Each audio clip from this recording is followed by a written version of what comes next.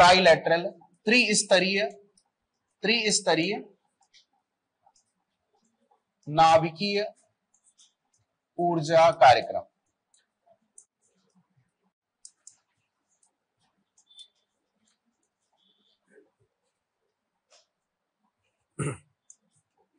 Trilateral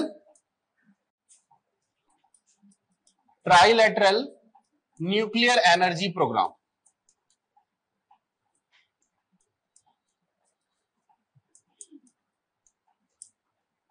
प्रथम चरण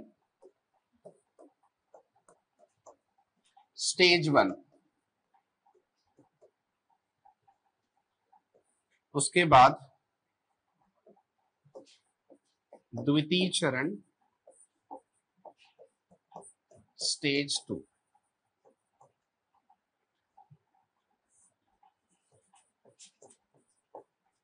और सबसे नीचे में लिखेंगे, तृतीय चरण स्टेज थ्री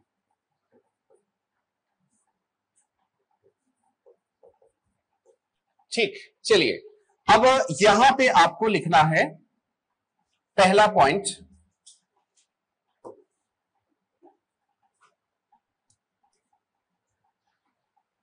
भारत में सबसे पहले यहाँ पे आप हेडिंग इसको ऐसे स्टार्ट करेंगे क्योंकि बड़ा दीर्घ उत्तरी प्रश्न है, इसलिए थोड़ा इसका स्केलेटल समझ लीजिए स्ट्रक्चर समझ लीजिए। सबसे पहले हमको बताना पड़ेगा कि trilateral nuclear energy program was started in the decade of 1960 1960 के दशक में प्रारंभ हुआ, है ना with the leadership of doctor Homi Jehangir Bhabha doctor Bhabha के नेतृत्व में ये प्रारंभ हुआ। जिसका उद्देश्य था भारत की ऊर्जा जरूरतों को पूरा करना। ऑब्जेक्टिव केवल एनर्जी रिक्वायरमेंट को फुलफिल करने के लिए था एटम बम बनाने के लिए बिल्कुल नहीं था, याद रखना। सिर्फ़ एनर्जी पॉइंट ऑफ़ व्यू से पढ़ रहे हैं। जिसके लिए हमको न्यूक्लियर मटेरियल, यानी कि रेडियो एक्टिव मटेरियल यूरेनियम आदि की ज़रूरत होती। और डॉक्टर भाभा की दूरदर्शिता के कारण भारत क्या है न्यूक्लियर रिएक्टर अपने प्रोग्राम को स्टार्ट करता है और शुरुआत में हम कांटेक्ट करते हैं यूएसए से। और यूएसए से हम यूरेनियम 235 लाते हैं। लेकिन उस दिन बताया था कौन सा यूरेनियम ट्रीटेड यूरेनियम परिष्कृत यूरेनियम जिसमें परसेंटेज ऑफ़ यूरेनियम चार percent up to four percent रहती है। वो तीन से चार भी लिखा होता है किसी में अप टू फोर भी आप लिख सकते हो, है ना? तो उसमें चार परसेंट तक यूरेनियम था। और इसे हमने कहा स्थापित किया? तारापुर में। तारापुर में स्थापित किया यूरेनियम 235 लेकिन ब्रैकेट में लिखना, है ना? इनरीच यूरेनियम इनरीच्ड यूरेनियम या फिर इसे कहेंगे परिष्कृत यूरेनियम हमने यूज़ किया था। ट्रीटेड यूरेनियम भी कहा जाता है परिष्कृत भी कहा जाता है एक ही मतलब है। इनरीच भी कहा जाता है। ठीक? अच्छा अब यहाँ पे थोड़ा सा मैं और चीज़ें बताता हूँ कि जब इसमें आप देख रहे हैं यूरेनियम 235 था तो शुरुआत में हमने जो रिएक्टर का टाइप यूज़ किया था, कौन सा टाइप यूज़ किया था? बॉइलिंग वाटर रिएक्टर यूज़ किया था। बॉइलिंग वाटर रिएक्टर जिसमें कि कूलेंट में हम बॉइलिंग वाटर लेंगे, सामान्य जल लेंगे, उसको बॉइलिंग वाटर रिएक्टर कहा जाएगा। उसके बाद ये टेक्नोलॉजी बहुत महँगी पड़ी तो हमने अगला reactor pressurise heavy water reactor adopt किया, और यही रिएक्टर वर्तमान में सबसे ज़्यादा है। प्रेशराइज हैवी वाटर रिएक्टर बनाया। ठीक? अब एक बात और बता देता हूँ, जैसे कि टोटल अभी हम सात रिएक्टर को पढ़ेंगे। सात रिएक्टर का पावर प्रोडक्शन आपको एग्ज़ाम में पूछा है, पूछा दोबारा भी जाएगा आने वाले समय में। लेकिन नंबर ऑफ़ रिएक्टर में कह रहा हूँ ट्वेंटी थ्री प्लस वन है। ऐसा क्यों? तो जैसा आप पढ़ते हैं एनटीपीसी कोरबा पढ़ते हैं एनटीपीसी सीपत पढ़ते हैं एनटीपीसी मड़वा तापगरी एनटीपीसी लारा पढ़ते हैं। अलग अलग इनका क्या है? यूनिट है। लेकिन एनटीपीसी ही पढ़ते हैं उसे। तो वैसे ही क्या है? एक ही तारापुर के अंदर मल्टीपल यूनिट हो सकते हैं। और सब यूनिट मतलब हम वो अलग अलग रिएक्टर तो अलग अलग रिएक्टर मतलब एक यूनिट मतलब एक रिएक्टर तो ओवरऑल देखा जाए twenty three plus one reactor है। लेकिन आगे जब मैं इसे समझाऊँगा, आगे जो यहाँ पे आएगा तो देखो केवल सात रिएक्टर यहाँ पे है। ठीक है? तो आपको इसमें कभी कंफ्यूज मत होना। ठीक है? तो वापस आते हैं इस पर कि ये जो आपका रिएक्टर है, पहले बॉइलिंग वाटर रिएक्टर स्टार्ट हुआ, बाद में हम प्रेशराइज हैवी वाटर रिएक्टर ये आपका कैनेडा मॉडल पर बेस्ड था। कौन सा? प्रेशराइज हैवी वाटर अब हैवी वाटर वर्ड आया मतलब कूलेंट में क्या यूज़ करेंगे अब? हैवी वाटर यूज़ करेंगे। ठीक है? समझ में आ गया? चलिए। लेकिन जब मैं दूसरे स्टेज की बात करता हूँ, देखो तारापुर के बाद आगे एक और जगह आएगा रावत भाटा। तारापुर और रावत भाटा जो है, ये फ़र्स्ट स्टेज वाला था। सेकेंड स्टेज जो आया था, वो कहाँ पे? कलपक्कम।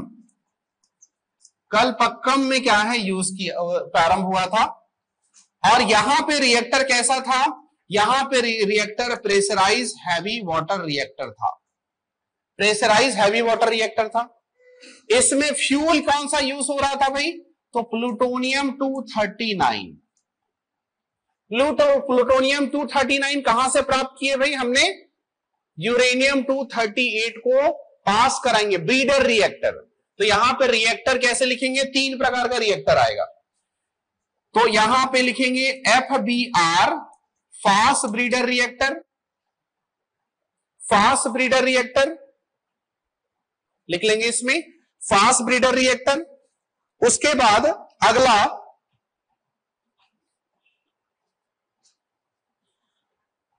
अगला आएगा एडवांस हैवी वाटर रिएक्टर लेकिन advance heavy water reactor actual में डेवलपिंग स्टेज में है यहाँ पे।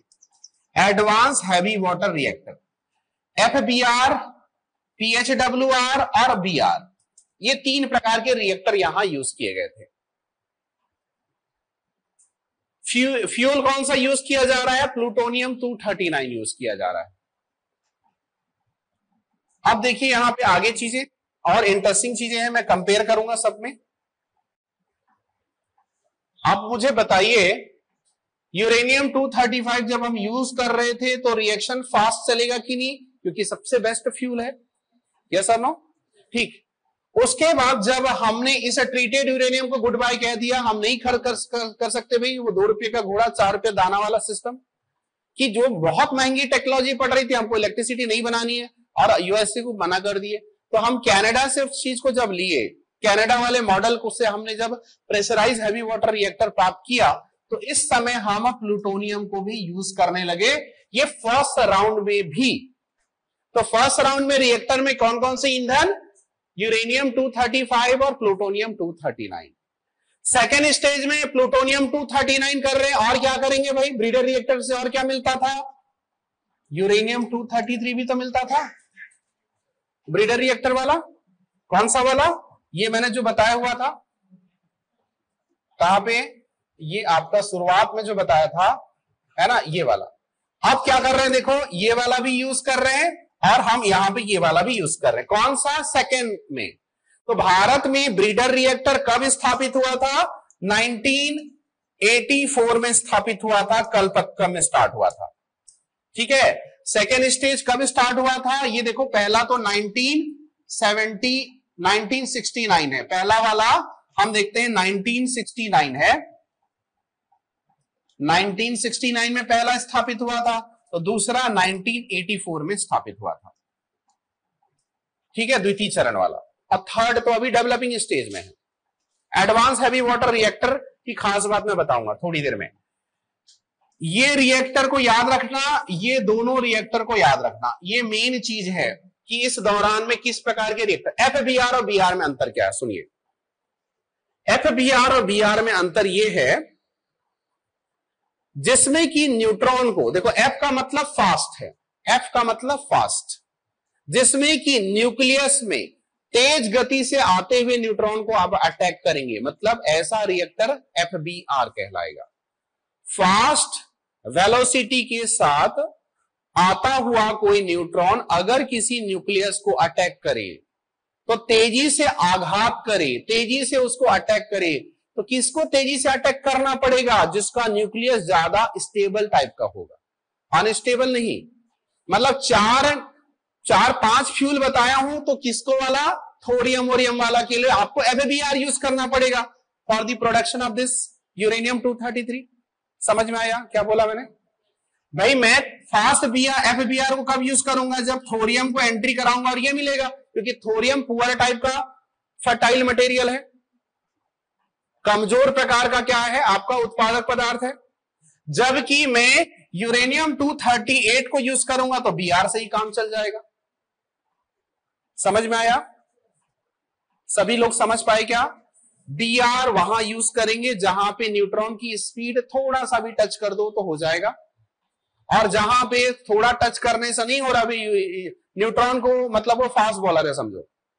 और ये क्या है? बी आर क्या है? स्पिनर है, समझो। है ना, स्पिनर मतलब धीरे से अटैक कर देगा तो फट फिसाइल हो जाएगा, टूट जाएगा, दो भाग में टूट जाएगा। और जब ये फास्ट बॉलर है तो तेज़ी से जब करेगा, तभी उसका स्टंप उखड़ेगा। यानी कि तभी वो दो भाग में टूटेगा। चीज़ें समझ में आ गई? अब मुझे ये बताइए, जो पहले से ही स्लो है तो उसे और स्लो करना पड़ेगा क्या? मतलब मैं लिख सकता हूँ कि आपको यहाँ पे बी आर में यानी ये एफ़ बी आर में जब भी एफ़ बी आर प्रकार का होगा एफ़ बी आर में नो मॉडरेटर भाई, जिसको तो खुद ही फास्ट वाली चीज़ें चाहिए, खुद से स्लो है पहले से तो अलग से मंदक या मॉडरेटर की ज़रूरत क्यों पड़ेगी? तो जब भी एफ़ बी आर वाला आएगा ना फास्ट ब्रीडर रिएक्टर में, मंदक की ज़रूरत नहीं पड़ती। जो पहले से ही स्लो है, और क्यों स्लो करोगे भाई? समझ में आया? लेकिन प्रेशराइज हैवी वाटर रिएक्टर में क्या यूज़ किया जाएगा? तो ये वही चीज़ें बार बार रिपीट होंगी क्या क्या ऊपर वाले में यहाँ पे एफ़ बी आर है तो यहाँ पे क्या लिखेंगे? हमारे पास D two O D two O use हो जाएगा। डी टू ओ क्या यूज़ होगा? मॉडरेटर एम मतलब यहाँ पे, यहाँ कूलेंट लिख दो, चलो। कूलेंट लिख दिए। तो कूलेंट में क्या यूज़ हो रहा है भाई? डी टू ओ यूज़ हो रहा है। इसमें भी कूलेंट में क्या यूज़ होगा? कूलेंट में क्या यूज़ होगा? आपका डी टू यूज़ होगा। कोई कंफ्यूजन है तो पूछिए भाई। मैं क्या बताना चाह रहा हूँ? जब आपने फ्यूल आपने रिएक्टर बना लिया रिएक्टर समझ में आ गई। फ्यूल कौन सा समझ में आया है? अब मैं ये भी तो बताऊँगा भाई कूलेंट क्या यूज़ होगा? तो इसमें डी टू यूज़ हो रहा है भाई। इसमें भी डी टू यूज़ होगा। कूलेंट के तौर पे। इसमें मॉडरेटर लगेगा कि नहीं? बिल्कुल लगेगा। तो मॉडरेटर यहाँ पे यूज़ हो रहा है तो मॉडरेटर में मैंने क्या क्या बताया हुआ था? फिर से वही लिख लो। आप लोग वही कंसेप्ट को अप्लाई कर दो। मॉडरेटर तो दोनों में कॉमन है। डी टू तो दोनों में कॉमन है कि नहीं? हैवी वाटर और क्या है? और क्या है मॉडरेटर में? ग्रेफाइट ग्रेफाइट है ना? ग्रेफाइट इसे यूज़ किया जाता है। ठीक है? बेरिलियम ऑक्साइड अभी यूज़ नहीं करते। इसमें पहले स्टेज में उतनी टेक्नोलॉजी हमारे पास नहीं थी। चलिए। कूलेंट हमने यूज़ कर दिया, इसमें भी इसमें भी सेम टू सेम है रेप्लिका है, कोई समस्या नहीं है। अब इसमें क्या लिखेंगे? नो मॉडरेटर लिखेंगे नो मॉडरेटर मॉडरेटर इसलिए ज़रूरत नहीं पड़ेगा सेकेंड स्टेज में, क्योंकि हम एफबीआर यूज़ कर रहे हैं। फास्ट ब्रीडर रिएक्टर यूज़ कर रहे हैं। और फास्ट ब्रीडर रिएक्टर यूज़ करने के पश्चात हमको ये रिज़ल्ट जब मिला, ये रिज़ल्ट मिलने के पश्चात इसको रिएक्टर में हम एंट्री करवाएँगे। कोई कंफ्यूजन हो रहा है क्या? सिंपल सी बात है सेकेंड वाला देखिए समराइज कर रहा हूँ। सेकेंड स्टेज का न्यूक्लियर रिएक्टर प्रोग्राम हमने कलपक्कम से स्टार्ट किया था, Indira Gandhi centre for atomic research IGCR से। उसके बाद कलपक्कम में स्टार्ट किए, जो रिएक्टर का टाइप था, हमने पहली बार एक नई टेक्नोलॉजी जो है स्थापित की दैट इज़ ब्रीडर रिएक्टर जो अगली जनरेशन का ब्रीड पैदा करे, अगली जनरेशन का न्यूक्लियर मटेरियल पैदा करे। चूँकि ये ब्रीडर रिएक्टर है ब्रीड पैदा कर रही है फास्ट ब्रीडर रिएक्टर है, इसलिए यहाँ पे किसी प्रकार के कोई मॉडरेटर की ज़रूरत नहीं पड़ेगी, क्योंकि ये शुरुआत से ही स्लो है, इसलिए अलग से स्लो करने की ज़रूरत नहीं है और स्लो करने की ज़रूरत नहीं है। जब रिज़ल्ट के तौर पे हमको प्लूटोनियम और यूरेनियम 239 मिल गया, दोनों में बेस्ट कौन है? प्लूटोनियम तो प्लूटोनियम को यूज़ करेंगे किसमें? इस पीएचडब्ल्यू में यूज़ करेंगे। अब पीएचडब्ल्यू में जब इसे यूज़ करेंगे और उससे हमको न्यूक्लियर पावर बनाना है। तो पीएचडब्ल्यू में जो हमने कूलेंट यूज़ हम करते हैं, वो हैवी वाटर यूज़ करते हैं। लेकिन मॉडरेटर को यूज़ नहीं करना पड़ता क्योंकि ये एफबीआर से प्रोड्यूस हुआ है। मॉडरेटर को यूज़ करना नहीं पड़ता। तो द्वितीय चरण के आपके न्यूक्लियर एनर्जी प्रोग्राम में मंदक की आवश्यकता इसलिए नहीं पड़ती क्योंकि वो फास्ट ब्रीडर रिएक्टर से उत्पन्न हुई होती है। अगर हम पीएचडब्ल्यू आर को में अगर ज़रूरत पड़ी उस केस में हम यूज़ कर सकते हैं मॉडरेटर लेकिन इन जनरली एफबीआर से कनेक्टेड है दैट्स वाई यूज़ नहीं करना पड़ता। आउट ऑफ़ कंट्रोल हुआ तो कंट्रोलर रॉड कंट्रोलर रॉड में कोई दिमाग ही नहीं लगाना है भाई। ऊपर से नीचे सेम टू सेम लिख दो। अब आपको वही जो चार पाँच भाग में बताया हूँ, उसको आप समराइज करिए। देखिए कॉमन चीज़ों को आप पहचानना सीखिए।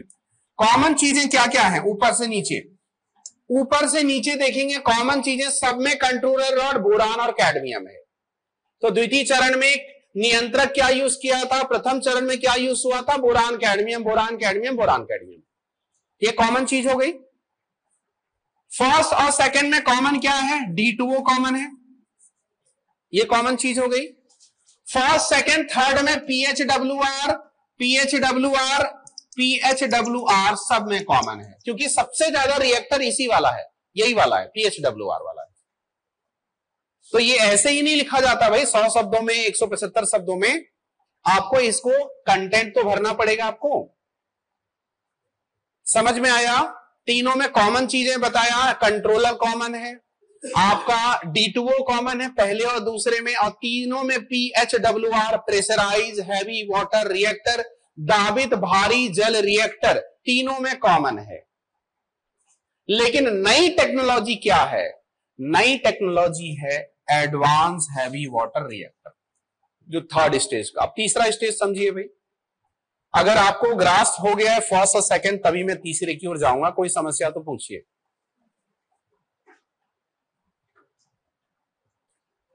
Third stage nuclear program is actually in under developing stage advance heavy water reactor A H W R है ना? ये अभी भी डेवलपिंग है. दैट इज़ बेस्ड उसमें फ्यूल क्या यूज़ करोगे?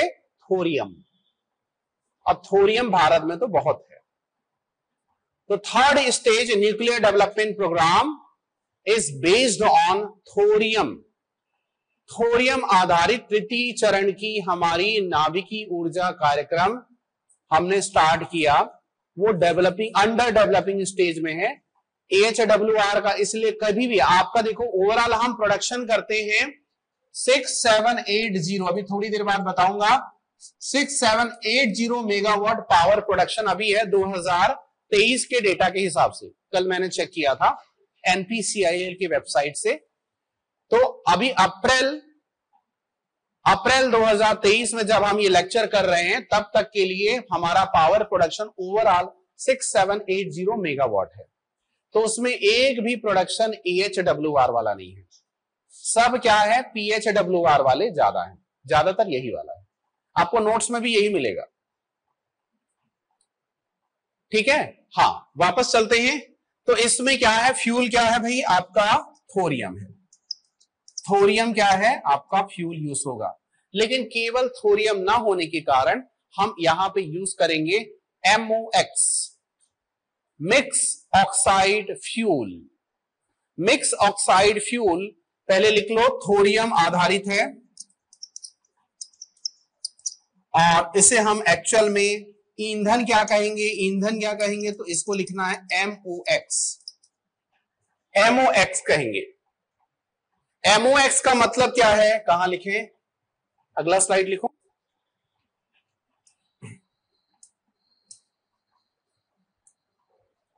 एमओ एक्स का मतलब देखो थोरियम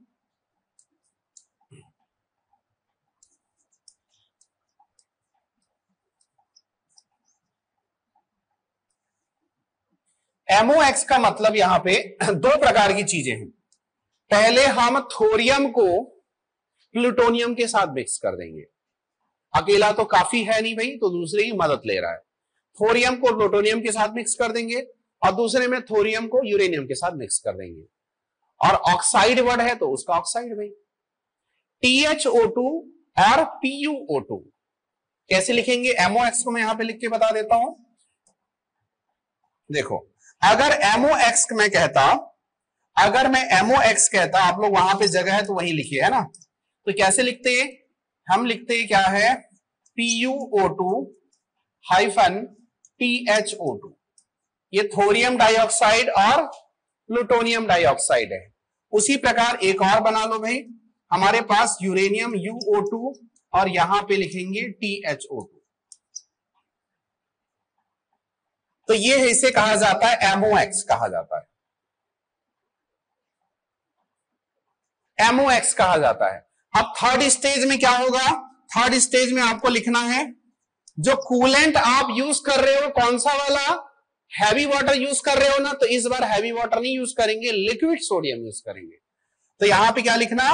कूलेंट कूलेंट में हम यूज़ करेंगे liquid sodium liquid sodium use करेंगे। ठीक है?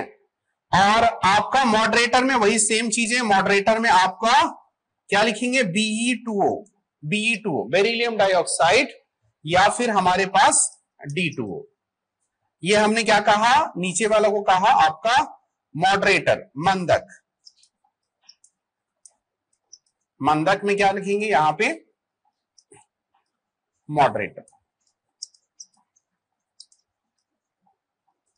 क्या सबको क्लियर है ये?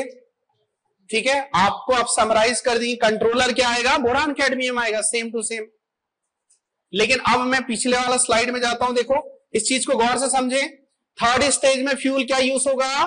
थोरियम बेस्ड टेक्नोलॉजी जो मिक्स ऑक्साइड फ्यूल होगा एमओएक्स होगा।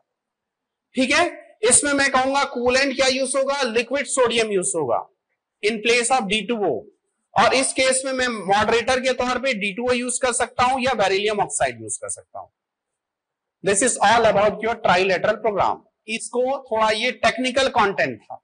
ये टेक्निकल कंटेंट था जिसका मैं यहाँ पे आपको रिमेनिंग पार्ट थर्ड वाले को वहाँ बताया हूँ।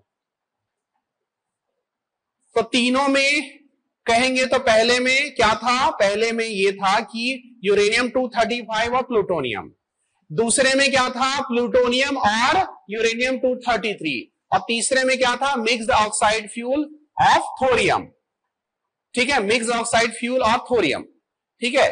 चलो, पहले में हमने ये देखा कि रिएक्टर का टाइप बी डब्ल्यू आर और पीएच डब्ल्यू आर दूसरे में हमने देखा एफ़ बी आर और पीएच डब्ल्यू आर और तीसरे में पीएच डब्ल्यू आर और advance heavy water reactor H W R समझ में आया? बाकी फ्यूल समझ में आ गया, ये समझ में आ गया किसमें कूलेंट लगेगा किसमें नहीं लगेगा नोट करवा दिया हूँ। कोई कंफ्यूजन तो पूछ लीजिए, फिर आगे बढ़ते हैं। समस्या है क्या सामने वालों को? उदास चेहरे लग रहे हैं भाई। पीछे वाले भी। चीज़ें समझ आ रही हैं कि नहीं, यहाँ पे कोई दिक्कत तो है तो पूछिए भाई, आगे बढ़ते हैं, चलो। अब हमारे पास देखेंगे ये प्रोग्राम देखो, वो पिछला वाला जो कंटेंट है, ये आपको बड़े नंबर में पूछा है। और 2021 का मेंस का क्वेश्चन देखो ये। सीजीपीएससी 2021 का एग्जैक्टली रेप्लिका है ये। पूरा यही क्वेश्चन पूछ दिया था कि भारत में नाभिकीय ऊर्जा संस्थानों को लिखिए और उसमें ऊर्जा कितना उत्पादित हो रहा है। न्यूक्लियर रिएक्टर को लिखना था और पावर प्रोडक्शन को लिखना था। तो पावर प्रोडक्शन को लिखना था, देखो, पहला स्टेज दूसरा स्टेज को आप यहाँ पे समझिए आप।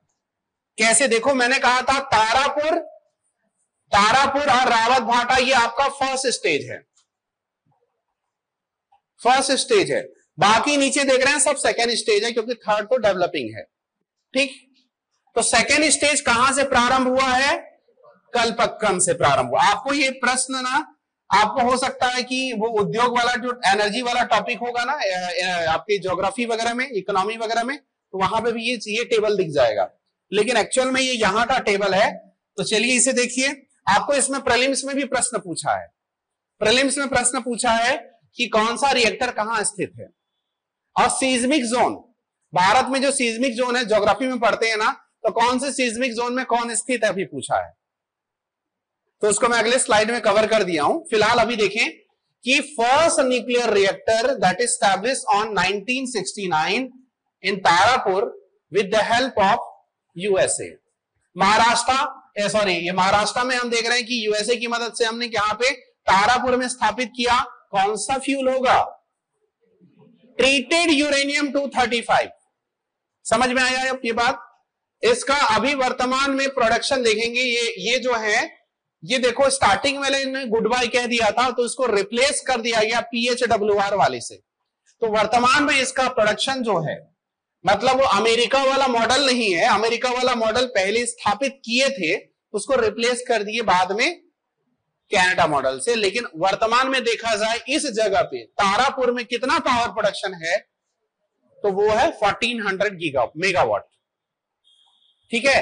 यही लिखना है ओवरऑल सबका। देख रहे हैं अगला, रावत भाटा तो रारा से याद रखना, रा मतलब राजस्थान, रावत भाटा राजस्थान। ठीक? आप देखते हैं कि 1973 में स्थापित हुआ था with the help of Canada. और कनाडा का यहाँ पे जो मॉडल इतना अच्छा है ना कि कनाडा वाले मॉडल को हमने उसके डिज़ाइन को कॉपी कर दिया और उसके बाद बाकी सब देख रहे हैं, ये इंडिजिनस हम बनाए। ये बनाए भारत ने, इंडिजिनसली स्वदेशी, लेकिन डिज़ाइन किसका था? कनाडा का। तो भारत में सर्वाधिक जो रिएक्टर है वो कनाडा मॉडल पर बेस्ड है और पीएच डब्ल्यू आर वाले हैं। प्रेशराइज हैवी वाटर रिएक्टर दावित भारी जल रिएक्टर है। ठीक है? इसका प्रोडक्शन 1180 मेगावाट है। 2023 का डेटा है ये। उसके बाद देखेंगे ये वाला आता है कलपक्कम परमाणु विद्युत गृह, इसे हम आईजीसीआर भी कहते हैं। Indira Gandhi centre for atomic research establish देख रहे हैं 1984 में स्थापित हुआ था। ठीक है, ना, ये 1984 में और स्वदेशी डिज़ाइन है, कनाडा वाला डिज़ाइन है लेकिन। ठीक है 440 मेगावाट। इसके बाद देखते हैं, नरोरा, आप सभी को पता है, नरोरा यूपी में है। ना, इन सब में आपको एक बात ध्यान रखनी, ये हो सकता है ईयर उतना ना पूछे, लेकिन ये इसका पेयरिंग कौन सा स्टेट में है, कौन से कंट्री की हेल्प से हुआ, ये ज़रूर पूछेगा प्रलिम्स में। मेंस में तो पूरा काम काम का है। नरोरा यूपी में है 1991 में स्टैब्लिश हुआ था और ये भी इंडिजिनस कनाडा वाले डिज़ाइन को हमने भारत में बनाया और 440 मेगावाट का ये प्रोडक्शन है। अलग अलग यूनिट है भाई अलग अलग यूनिट है मैं आपको आ, उसका जो है डिटेल जो है अभी 2023 वाला जो मेरे पास आया था ये देखो। ये अभी 2023 का कल का मैंने निकाल के दिया था आपको पीडीएफ में सेंड कर दूँगा अगर आपको यूनिट चाहिए तो। ठीक है अदरवाइज़ यूनिट ना भी डालें डायरेक्टली लिखें तो भी चल जाएगा ये। ठीक? काकरा पार काकरा पार को ऐसे याद रखना, गुजराती डिश, खाखरा, फाफड़ा, ठीक है, ढोकला। तो खाखरा, फाफड़ा से याद रखना काकरा पार कहाँ सिचुएटेड है? इन गुजरात। ठीक है? तो इस प्रकार याद रखना, क्योंकि एग्ज़ाम हॉल में ये सब चीज़ें इधर उधर की चीज़ें ना बड़ी हेल्प करती है सॉल्व करने में। कंफ्यूजन क्रिएट नहीं होता फिर। ठीक? तो काकरा गुजरात में काकरा पार 1992 में स्टैब्लिश हुआ था, स्वदेशी है इंडिजिनस है। और उसके बाद देखते हैं, कैगा कैगा कर्नाटक है, ये वही कर्नाटक है कैगा है, जिसने कोविड पीरियड में record production of nuclear power इन्होंने किया था। इन सिंगल ऑपरेशन एक प्रयास में, एक ही प्रयास में तो यहाँ पे देखेंगे सन 2000 में स्टैब्लिश हुआ था 880 मेगावाट का प्रोडक्शन है। ठीक है? एक सिंगल ऑपरेशन में, है ना? चलें। इसके बाद देखते हैं लास्ट वाला आता है कुडन कुलम अगर आपको विजिबल नहीं होगा तो मैं लिख देता हूँ कुडन कुलम कुडन कुलम अब देख रहे हैं कि तमिलनाडु एक ऐसा स्टेट है जहाँ पे कलपक्कम भी है और कुडन कुलम भी है। तो कुडन कुलम जो रिएक्टर है, तमिलनाडु में स्थित है, इसका जो प्रोडक्शन है मैं अभी प्रोडक्शन बता देता हूँ, रशिया की मदद से ये जो है स्थापित हुआ था। रशिया की मदद से स्थापित हुआ था। ये सेम चीज़ें आपको इधर भी दिख जाएँगी, ये वाला देखो। 2013 में स्टैब्लिश हुआ और 1000 मेगावाट जो है ये प्रोडक्शन ये ये मेगावाट वाले को इसको मत लेना भाई, उधर पहले वाले स्लाइड को लेना, वो ज़्यादा अपडेटेड है। ठीक है? और आपको ओवरऑल देखना है कि ये रशिया की मदद से हुआ। अच्छा अब आपको मैं बता देता हूँ कुडन कुलम का बहुत विरोध हो रहा है, हुआ था। जैतापुर, महाराष्ट्र, एक अंडर कंस्ट्रक्शन है, वहाँ का भी बहुत विरोध हो रहा है। भारत में आज के डेट में देखेंगे तो टू थ्री प्लस वन यानी कि तेईस प्लस एक, चौबीस न्यूक्लियर रिएक्टर है। तेईस प्लस वन कहेंगे। आपको डेटा केवल तेईस का मिलेगा, चौबीस का नहीं मिलेगा। तो लेकिन मैं आपको ओवरऑल जो प्रोडक्शन का फाइनल कंक्लूजन कह दूँगा तो कितना है? वो है आपका six seven eight zero megawatt आप इसको सबको ऐड कर दोगे ना तो वही डेटा मिलेगा। क्या है? Six seven eight zero six seven eight zero megawatt ये आपका ओवरऑल प्रोडक्शन है। इसी को लिखना था। आपको थोड़ा सा समराइज कर देना थी। आठ नंबर में पूछा आपको। आठ नंबर मतलब हंड्रेड वर्ड्स में ये टेबल को बताना था। तो फ़र्स्ट स्टेज यहाँ हुआ था सेकेंड स्टेज यहाँ हुआ था। आप आईजीसीआर ये है और ये टेबल को आपको लिखना था फुल मार्क्स मिलता आपको। नंबर बिल्कुल नहीं करते। अगर आपको वर्ड कम पड़ जाता वर्ड हंड्रेड वर्ड्स के लिए कम पड़ जाता कुछ कंटेंट तो आप क्या लिख सकते हो? फाइनली कि भारत का जो ट्राइलेटरल प्रोग्राम वो अभी चालू है थर्ड स्टेज में हम थोरियम बेस्ड टेक्नोलॉजी डेवलप कर रहे हैं और बहुत सारे अंडर कंस्ट्रक्शन हमारे पास न्यूक्लियर रिएक्टर अभी भी हैं, अंडर डेवलपिंग हैं। जिसमें कि जैतापुर हो गया, है ना? और यहाँ पे चटका राजस्थान का है। इस प्रकार अलग अलग कुछ रिएक्टर का जो है नाम जो है, उसमें आप डाल सकते हो, जो अंडर कंस्ट्रक्शन है। आने वाले समय में वर्ष 2000 वर्ष 2050 तक, है ना? आप देख रहे हैं कि न्यूक्लियर रिएक्टर से प्रोड्यूस जो एनर्जी है, भारत की टोटल एनर्जी का वन फोर्थ होगा। वर्ष 2050 तक भारत अपनी कुल जो ऊर्जा जरूरतों का 25 प्रतिशत किससे पूरा करेगा? न्यूक्लियर रिएक्टर से पूरा करेगा। इस प्रकार कुछ कंटेंट जो आपके नोट्स में दिया हुआ है, ये चीज़ें आप डाल सकते हो, ठीक है? इसमें कोई समस्या नहीं है। अगर ये न्यूक्लियर रिएक्टर को आपने देखा, समझा अब इनके लोकेशंस को थोड़ा गौर कर लेते हैं। ये लोकेशंस देख रहे हैं। वही लोकेशन है जो न्यूक्लियर रिएक्टर है। आप इनमें जो पावर प्रोडक्शन देखेंगे तो वही पावर प्रोडक्शन है six seven eight zero six seven eight zero megawatt यदि आप इनका रिएक्टर को देखेंगे तो अलग अलग सीजमिक जोन में स्थित हैं। अलग अलग जो है भूकंपी क्षेत्र है। आपने एक नाम तो सुना होगा, फुकुशीमा। फुकुशिमा जो है, जापान में स्थित है। और फुकुशिमा में जो न्यूक्लियर एक्सीडेंट हुआ था, वो बिकॉज़ ऑफ़ सीजमिक जोन के कारण हुआ था। आपने पूरा रिएक्टर को किससे कवर करके रखा है? शील्ड यानी परिरक्षक से कवर करके रखा है। अगर रिएक्ट अगर सीजमिक जोन में है, कभी भी अर्थ को एक आया, भूकंप आया तो ब्रेक हो सकती है। ब्रेक होने पर रेडिएशन एमिट हो सकता है। रेडिएशन एमिट होगा तो मतलब कुल मिला के वो न्यूक्लियर बॉम्ब ही तो है। मतलब रेडिएशन होगा उस एरिया के लोग, बहुत सारे लोग मारे जाएँगे, जैसे फुकुशिमा की घटना हुई थी, चेरनोबिल की घटना हुई थी थ्री माइल आइलैंड का हुआ था। ठीक? ये चीज़ें आपको ध्यान रखनी है।